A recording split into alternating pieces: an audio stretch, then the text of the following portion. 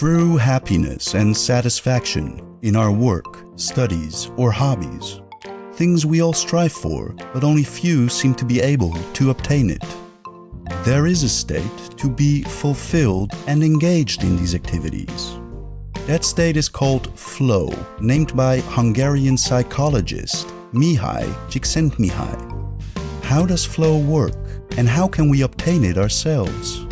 Csikszentmihalyi defines flow as the mental state in which a person performing an activity is fully immersed in a feeling of focus, involvement, and enjoyment. Action and awareness become merged. We have no worry of failure because we are in control, and our sense of time becomes distorted because the activity is rewarding in itself. There are people who have developed their flow in such a way that every obstacle becomes an enjoyable challenge.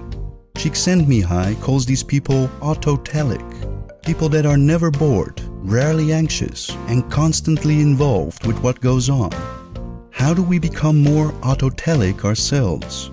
There are some conditions that have to be met to achieve flow.